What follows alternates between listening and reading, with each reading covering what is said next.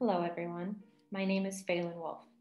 Today, I will be telling you about a piece of art that myself and my group have been working to perfect over the last semester. It all started when we read chapter six of Great Feuds in Science. This particular chapter was about a man named William Thomson, also known as Lord Kelvin who had a debate with another scientist about the age of the Earth.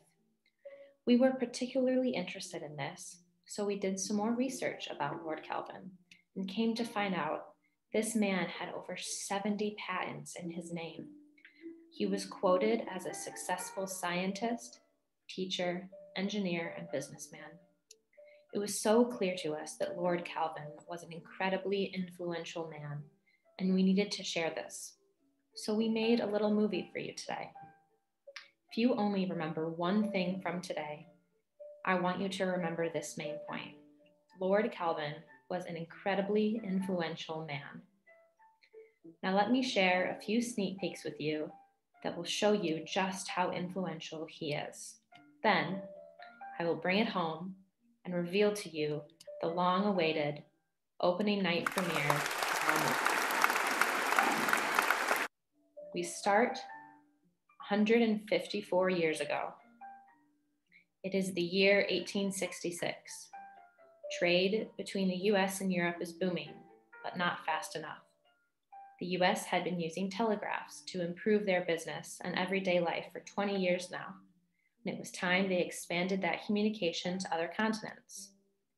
On board the largest ship yet in the US, the Great Eastern, 500 men 8,000 tons of coal and over 2,700 miles of cable are sailing into the Atlantic Ocean to lay down the first transatlantic cable. This was the fifth attempt. The last had ended in it snapping and falling to the bottom of the ocean floor. But this time was different. A man named Lord Kelvin was on board and had engineered the new cable's design. After days of hard work, it was a success. Not only did the crew succeed in laying fresh cable, they also recovered the cable from the year prior and attached it to a new portion. Communication between the US and Europe will now be much easier and much faster. Jump forward 15 years. It is now 1880.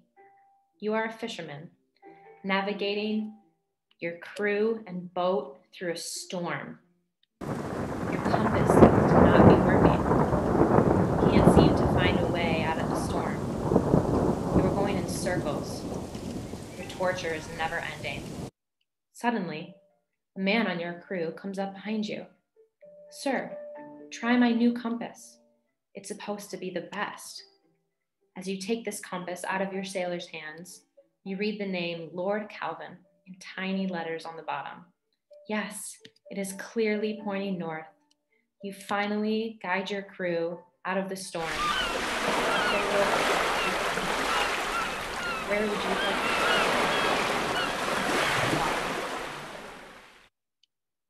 If Lord Kelvin had not contributed to science, teaching, engineering, or business, where would our world be today?